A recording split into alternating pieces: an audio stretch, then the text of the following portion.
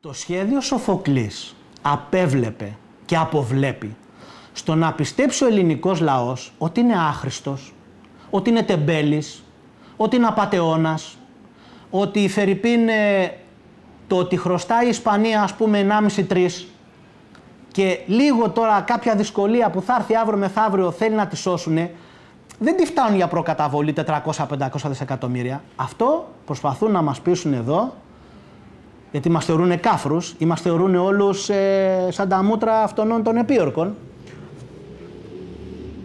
Ισχυρίζονται ότι το πρόβλημα είναι η Ελλάδα. Η Ελλάδα που θέλει 40, ξέρω, θέλει 30 δισεκατομμύρια κλπ. Άρα λοιπόν για να την ξεφτυλίσω την Ελλάδα, διότι άμα πέσει η Ελλάδα κύριε Παπαδόπουλε και εδώ είναι το γιατί το εφαρμόσαν στην Ελλάδα. Εμάς μας φοβούνται. Εάν πέσει η Ελλάδα, εάν υποταχθεί η Ελλάδα, εάν πεινάσει η Ελλάδα, εάν ξεφτυλιστεί η Ελλάδα, εάν η Ελλάδα έχει για πρωθυπουργό κάποιον ο οποίος δεν είναι κατάλληλος, και σας το λέω με τα λόγου γνώσεως, και θα δείτε παρακάτω, εάν έχει υπουργό οικονομικών αυτόν ο οποίος κατέστρεψε την εμπορική τράπεζα, και τα ήξερε όλα αυτά τα που γινόντουσαν στον κύριο Στουρνάρα. στον κύριο Στουρνάρα. Όταν έχει διοικητή στην Τράπεζα της Ελλάδος αυτόν ο οποίος έλεγε πω πω τι γίνεται στην εμπορική τράπεζα; Δημοσιευμένα, πρακτικά γενικών συνελεύσεων. Κύριο Προβόπουλος. Ο κύριος Προβόπουλος. Πάτο του βαρελιού μου την έδωσε την τράπεζα την εμπορική ο κύριος Στουρνάρας. Και άμα τον ρωτήσει κάποιος τώρα, έλα εδώ ρε μάγκα, τι του έκανες στο Στουρνάρα που στην άφησε πάτο του βαρελιού; Τι του έκανες που από 45 ευρώ στην πήγε τη μετοχή στα 15. Τον έκανε Υπουργό Οικονομικών. Ακριβώς. Ακριβώς. Το short selling είναι η προστασία όλων αυτών που σας ανέφερα, αμερικανικά συντοξιδοτικά ταμεία, αγγλικά κλπ.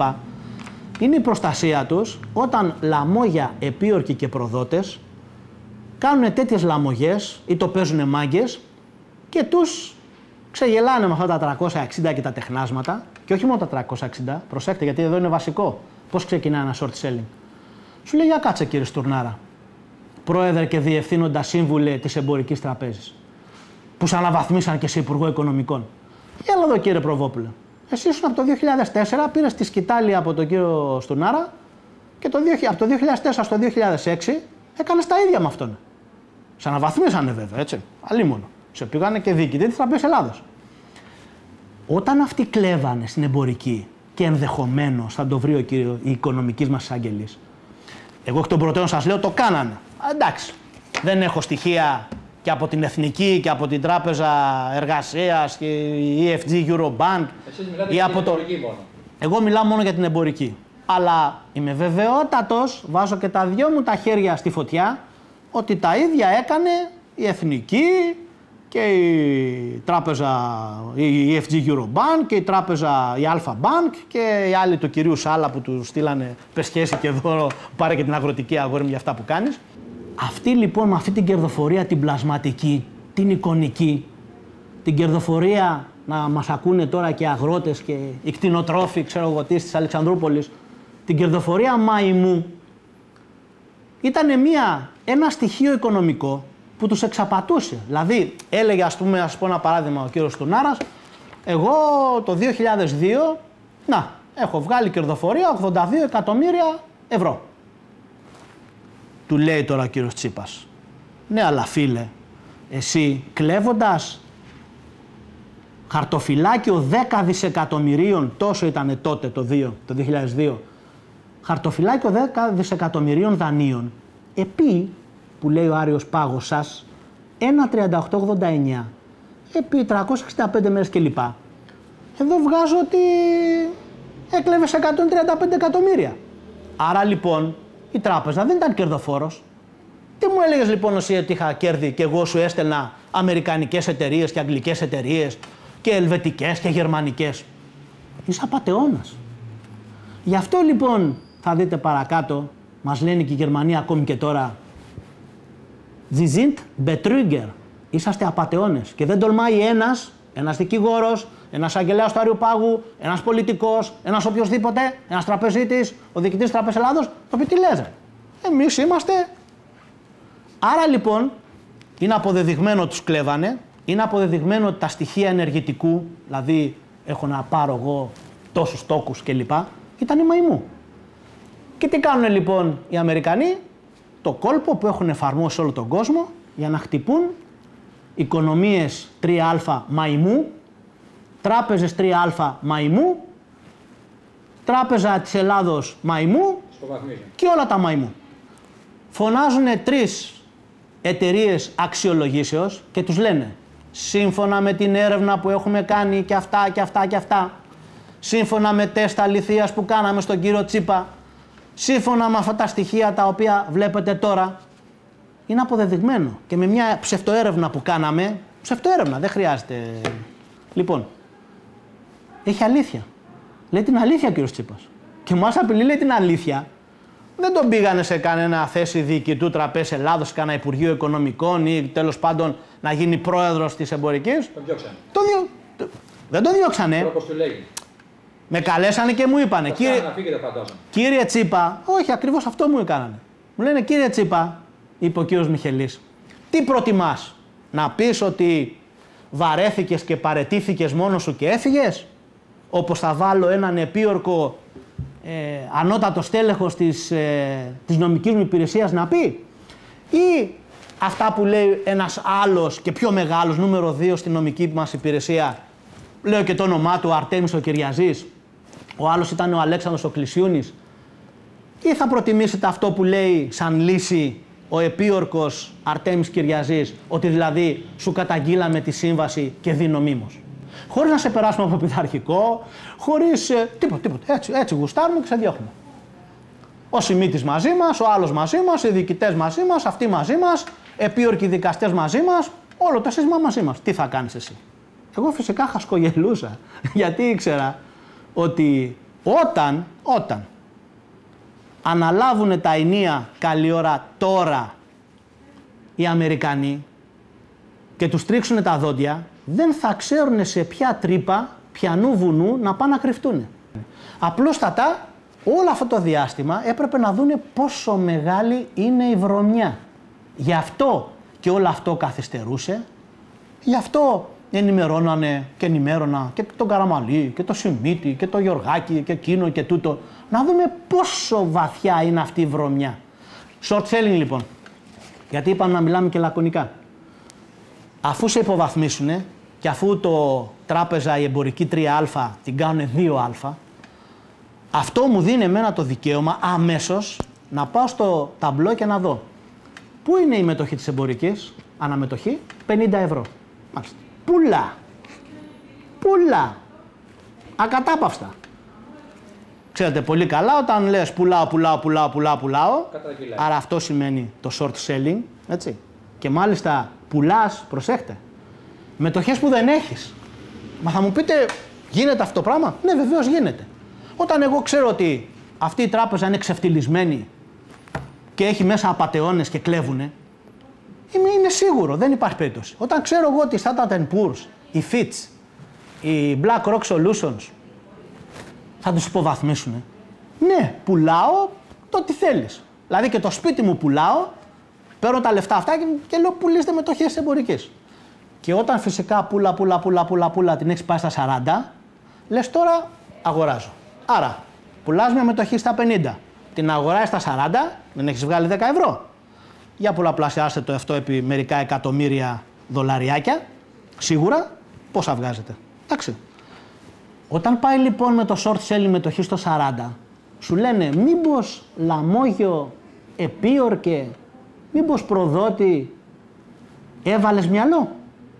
Δηλαδή, μήπως άκουσες αυτά που είπε ο κύριος Τσίπας στη Γενική Συνέλευση των Μετόχων; Μήπως θα πεις ένα συγγνώμη και σταματάμε μέχρι εδώ και αποζημιώνουμε τους λαιλατιθέντες και τους εξαπατηθέντες; Απάντησε κύριε Παπαδόπουλε. Άντε από εδώ πέρα λέει εμείς αυτά εκείνο τούτο. Μάλιστα. Πουλάτε στα 40 και αγοράστε στα 30 ευρώ τη μετοχή. Τίποτα. Πουλήστε στα 20 στα 10. Πουλήστε στα 10. Μέχρι που κάποια στιγμή, κύριε Παπαδόπουλε, τι έγινε, την πήγαν τη μετοχή στο 1,76, την πετάξαν ουσιαστικά έξω από το χρηματιστήριο. Τι να κάνεις, μια μετοχή Τις δε άλλες οι οποίες σας λέω θα αποδειχθεί κάναν τα ίδια. Ξέρετε που τις πήγανε; Δεν ξέρετε; Η μετοχή ας πούμε της τραπέζης Πυραιός που είναι, δεν είναι κάτω από ένα ευρώ. Η Εθνικάρα, να το πω έτσι, η μεγάλη μας φίλη, αυτός ο κολοσσός των Βαλκανίων και ξέρω εγώ τι, της Ευρώπης κλπ. Δεν ήταν κάτω από ένα ευρώ. Άρα λοιπόν, έχοντας με το να είναι, τώρα είναι κάπου στα δύο, πλασματικά είναι στα δύο. Εγώ ξέρω πάρα πολύ καλά ότι η αξία της είναι κάτω από το ένα, ένα ευρώ αναμετοχή. Αλλά εν πάση περιπτώσει. Ε, για να ορισμένοι να γράφουν τα παπαγαλάκια, να γράφουν σε εφημερίδες, πω, πω, πω, πω, δύο ευρώ η μετοχή της εμπορικής, καλπάζει. Τι καλπάζει, βρε ξεφτυλισμένε, να του πω εγώ έτσι. Στα 50 ευρώ ήταν. Ένα δισεκατομμύριο μετοχέ της στο χρηματιστήριο της Εθνικής, επί 50 ευρώ, πόσο μας κάνουν. Χρηματιστηριακή αξία 50 δις. Πού είναι τώρα η μετοχή; Στα δύο θέλετε, στα δύο. Δύο δισεκατομμύρια. Ξέρετε τι είναι δύο δισεκατομμύρια; Άμα πει η τουρκική Finance Bank, στέλνω έτσι ένα χαρτζιλίκι. Όχι. Τι πήραν. Τι πήραν. Δηλαδή τι πήρανε; Το 60-70% των τραπεζικών εργασιών στην Ελλάδα. Και αυτό το πράγμα η κυβέρνησή μας το θεωρεί επιτυχία. Το θεωρεί πω πω θα δημιουργηθούν τρεις κολοσσοί και να, είδατε, παραλίγο θα δημιουργεί το κολοσσός ε, ε, της ε, τραπέζης Πυραιός, με, ξέρω, όχι, συγγνώμη, της Eurobank, με την Alpha Bank. Κολοσσός, θα έσκυζε τα Βαλκάνια. Μουσι. Αυτή την καταγγελία, και έχω και μάρτυρά μου τον κύριο Γεώργιο Καρατζαφέρη, τον αρχηγό του Λαϊκού Ορθόδοξου Συναγερμού, αυτός μεν με δικά μου στοιχεία, τελείως δικά μου, τα πήγε το 1998 στις αγγελικές αρχές και επί τρία χρόνια βρισκόταν σε ένα σιρτάρι αραχνιασμένο. Θα μου πείτε πού το ξέρεις ότι ήταν αραχνιασμένο; Διότι είπα το 2000, εδώ, κύριε Καρατζαφέρη, τότε ήταν βουλευτής της Νέας Δημοκρατίας. Λοιπόν, υπόψη ότι τότε η Νέα Δημοκρατία, σε όποιον πήγαινα, δεν ήθελε να ασχοληθεί με το θέμα, γιατί είναι, είναι τράπεζα. Είναι τράπεζα και υποκρατική διοίκηση.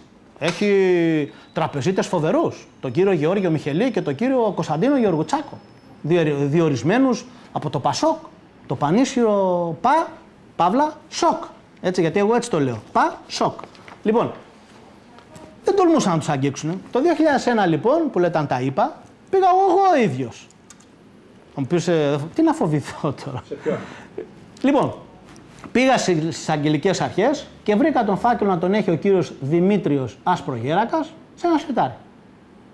Ο οποίος ξαχνιάστηκε, έδειξε ενδιαφέρον, του έδωσα διάφορα αυτά, κάλεσε το ΣΔΟΕ, το ΣΔΟΕ. Τους είπατε και για τις ειδοποιήσεις που υπήρχαν από τους ξένους οίκους. Τα πάντα. Ότι τα το πάντα. ξέραν και τα, λοιπά. τα πάντα. Και παρόλα αυτά τι; Και πολλά άλλα, όχι μόνο αυτά. Και, πα- πολλά άλλες και παρόλα λαμογές. αυτά τα- Πήγε το τα ΣΔΟΕ, αραχνιασμένα. πήγε το ΣΔΟΕ, πάρους, επί παρουσία μου, είπε, κύριε Σαγγελέφ, έχει δίκιο ο κύριος Τσίπας. Πω, πω τι έχουν κάνει αυτοί οι απατεώνες. Επιλέξτε. Και αφού περνάει λίγος καιρός, έτσι, και αφού βλέπω ποινικές διώξεις σε βαθμό κακουργήματος κλπ. για τον Γεωργουτσάκο, τον Μιχελή και άλλους κλπ. κλπ, κλπ. Κάποια στιγμή λοιπόν ο του θαύματος, το ΣΔΟΕ κάνει μία έκθεση ότι έλα μωρέ, δεν, δεν ισχύουν και τόσα αυτά πράγματα. Εντάξει. Και η υπόθεση κουκουλώθηκε. Τα γνωρίζουν και ειδικά τα γνωρίζουν και οι εκπρόσωποι των ελληνικών συνταξιοδοτικών και ασφαλιστικών ταμείων. Που δεν έχουμε να πληρώσουμε συντάξεις και παίρνουμε δάνεια, έτσι. Μάλιστα. Γιατί λοιπόν, σεβόμενος το ότι δεν ζει, επικεφαλής ενός ταμείου, πολύ γνωστός, μπροστάρι στους αγώνες, Ποιο ταμείο μπορείτε να πείτε. ε, Ίκα Τεάμ. Εντάξει. Ένα γεροντάκι ήταν τέλος πάντων που εντάξει καλή τώρα και που είναι, τουλάχιστον έφυγε με το παράπονο ότι έπραξε κάτι εις βάρος της πατρίδος. Τώρα εκεί που είναι, εντάξει, αν εγώ αυτά που λέω είναι ψέματα, να μου ρίξει φωτιά να με κάψει. Επειδή όμως ξέρει και το παραδέχθηκε μπροστά μου τι αμαρτία είχε κάνει για αυτό το πράγμα, σας λέω λοιπόν τι μου είχε πει τότε αυτό το γεροντάκι. Κύριε Τσίπα, δεν μπορώ να σε βοηθήσω. Λέω γιατί, τι φοβάσαι; Δεν φοβάμαι εγώ που είμαι 40 χρονών. Φοβάσαι εσύ που είσαι συνταξιούχος. Δεν μπορώ να σας βοηθήσω, διότι θα πρέπει και εμένα να με βάλουν στον κορυδάλο μέσα.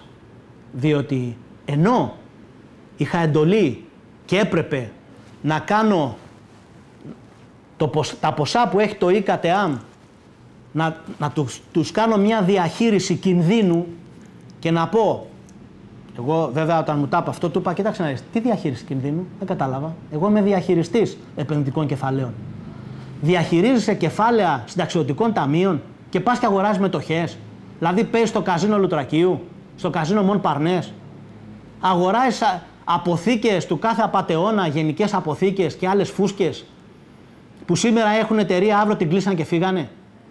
Μου λέει τι έπρεπε να κάνω; Προθεσμιακή κατάθεση σε μία τράπεζα. Έτσι. Και για να προσέχει, ας το πούμε, η εμπορική ή οποιαδήποτε, θα έλεγα περίμενε τα μισά μου λεφτά στην Deutsche Bank, γιατί για τα τόσα εκατομμύρια μου δίνει ας πούμε σε ευρώ 5% και τα άλλα μισά, πόσα μου δίνεις σε εθνική, αυτός μου δίνει 5%. Να τα πάω όλα εκεί. Η μεσίως εθνική θα το έλεγε 6% ίσως και παραπάνω. Μια τράπεζα που δίνει δάνεια και κάρτες στα 13 και 14 ευρώ δεν θα του έδινα, ας το πούμε, 6. Εγώ του δίνα. Κολοτούμπες θα έκανα για να μου τα δώσει. 6% ερχόσουν εσύ κύριε Παπαδόπουλε και σε χρέωνα στην κάρτα 14%. Τι πουλάω, ντομάτες που σαπίσανε Αέρα, ή αγκουράκια; Αέρα με 8% διαφορά. Σε ένα χαρτί έγραφα ότι μου δώσατε τόσα και σε ένα χαρτί έδινα δάνειο στον άλλον. Τίποτα. Πώς λοιπόν έρχονται μετά και λένε έχω χασούρες και τέτοια και αυτά. Προθεσμιακή λοιπόν κατάθεση κύριε Τάδε του είπα και θα είχες τα 100 ευρώ κατατεθειμένα στην τράπεζα σιγουρότατα να πληρώσεις συντάξεις, να πληρώσεις ε, πώς το λένε φάρμακα και υγειονομική περίθαλψη και όλα τα σχετικά και σιγουρότατα σε διαβεβαιώνω θα είχες και 6, 7, ξέρω εγώ τις 100 και τόκους. Και όχι απαταιωνίστηκα με 307 και τέτοια, όχι με 365 κανονικά κλπ. Είναι λοιπόν όλοι βουτυγμένοι μέσα στα shits που, λέει, που λένε και οι Αμερικανοί, μέσα σε ακαθαρισίες να το πω έτσι, με, το πιο, με κάποια πιο, πιο χιδέα λέξη. Είναι βουτυγμένοι όλοι τους, όλοι τους τα ξέρουν.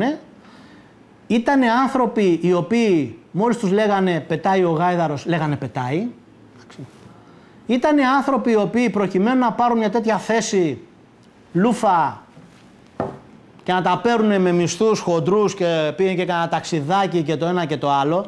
Το γνώρισα εγώ από τους συνδικαλιστές τους δικούς μας, που όταν θέλανε να τους καλοπιάσουν, τους δίνανε και τα εκτός έδρας και λοιπά και τους λέγανε δεν πάτε να ταξίδι στη Φραγκφούρτη να πείτε μια καλημέρα σε αυτόν τον άνθρωπο, τον κύριο Τσίπα, ξέρω εγώ τι. Ερχόντουσαν, τους ενημέρωνα, τους έλεγα παιδιά προσέχτε. Και αυτοί τι κάνανε κύριε Παπαδόπουλε, ξέρετε τι κάνανε. Νάστε. Γελάγανε οι Γερμανοί διότι φεύγοντας δεν χώραγε το πούλμαν από τις ε, τηλεοράσεις που είχαν αγοράσει, από τα βίντεο, από τα κιάλια, από τα... Γέλαγε ο κόσμος. Αυτά έρχονταν και κάναν.